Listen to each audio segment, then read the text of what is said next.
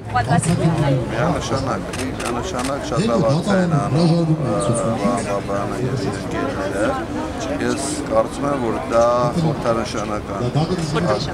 խորհրդանշական է եւ Եթե անձին ջուր շատ շուտ ապագայում, շատ մոտ ապագայում ողջ երկիրը դուրս է գալու փողոց, նստելու են աթոռներին, գետնին եւ անելու են ամեն ինչ, որպեսզի կարողանանք այն հանրային մեծ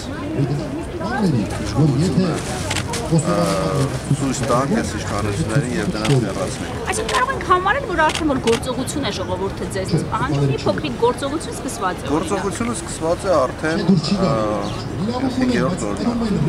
Մենք 5-րդ օրն է ստեղ ենք ազատության հրապարակում Դուք որպես լրագրող Եվս այստեղ եք եւ տեսնում եք թե ամեն օր ինչ դինամիկա կա, ինչ փոփոխություն կա, ինչքան ամեն ինչ մարդկանց տրամադրությունները, մարդկանց ցանկությունը, մարդկանց վճռականությունը։ Ես վստահ եմ, որ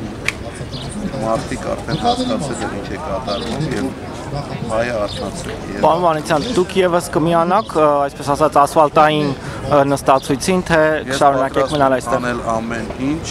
որպեսզի հասնենք մեր նպատակին։ Մեր նպատակը մեկն է ունենալ հզոր Հայաստան, հզոր Արցախ, անվտանգ երկիր եւ լավ ապրող քաղաքացի։ Եվ ինչ օրակարգ ունեք